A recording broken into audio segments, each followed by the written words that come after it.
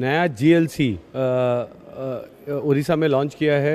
ये आ, हमारा सबसे लार्जेस्ट सेलिंग एसयूवी है इंडिया में हमारे पोर्टफोलियो में। प्राइस इसका पेट्रोल की कीमत है 73.5 लैक्स और डीजल है 74.5 लैक्स फीचर्स काफ़ी सारी है काफ़ी सारी टेक्नोलॉजी है गाड़ी के अंदर काफ़ी सारी लग्जरी है गाड़ी के अंदर।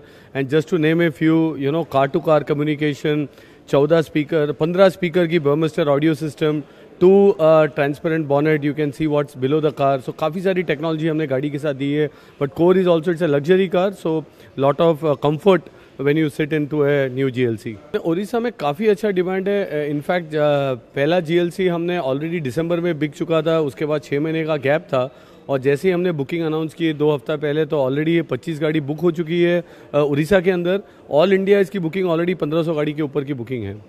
तो सबसे बड़ा डिफरेंस तो है साइज़ में तो इसकी व्हील बेस को हमने 60 एम mm से बड़ा किया है और यू uh, नो और इससे काफ़ी सारा स्पेस पैसेंजर को uh, पीछे कंफर्ट ओवरऑल कैबिन स्पेस बढ़ गया है।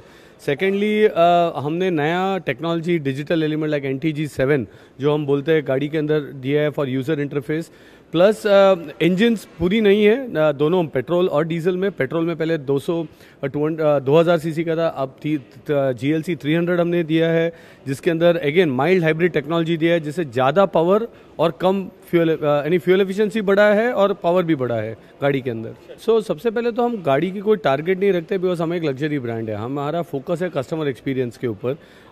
अगर मैं इलेक्ट्रिक व्हीकल की बात करूँ तो मर्सिडीज बेंस पहली कंपनी लग्जरी कंपनी है इंडिया में जिसने एक ईवी इंडिया में प्रोड्यूस की है। ई e नाम की जो ईवी है जो एक 1.6 करोड़ की गाड़ी है उस गाड़ी को हमने इंडिया में पुणे में हम प्रोड्यूस करते हैं।